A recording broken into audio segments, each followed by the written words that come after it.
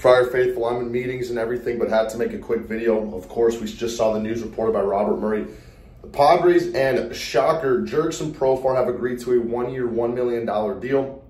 This was a match made in heaven, right? Jurickson Profar absolutely loves San Diego in, in terms of playing for the Padres. We've seen a lot of players have it. He has. Number two, the Padres need outfielders. Uh, they only have Fernando Tatis Jr. and Jose Azocar on their 40-man roster. Azocar isn't a major league level starting outfielder, so really their only starting outfielder they have is Platinum Glove winner Fernando Tatis Jr. I just hit the spring on the side of my wall. When you look at this team, it's a good fit because they desperately need a bat on the left side of the plate. Profar provides them a switch hitting opportunity. Number two, Jurickson Profar is trying to regain a little bit of his value.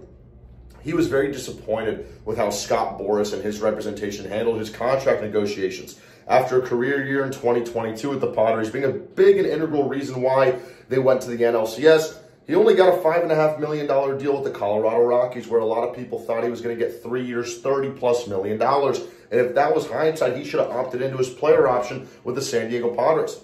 With that being said, Profar has decided to leave Boras representation and join MVP Sports Group that represents the likes of Fernando Tatis Jr., Manny Machado, to name a few.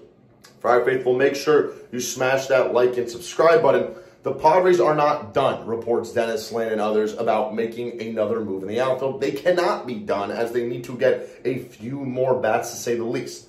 But at least providing some insurance, some reputability, and some comfort to San Diego Padres fans, Jurickson Profar provides immediate VAR, as the DSG boys say on the Hogwatch. Catch them here tonight discussing the signing. VAR is not wins above replacement, but vibes above replacement. The vibes in the clubhouse need to return to those 2022 ways, because let me tell you, 2023 was anything but.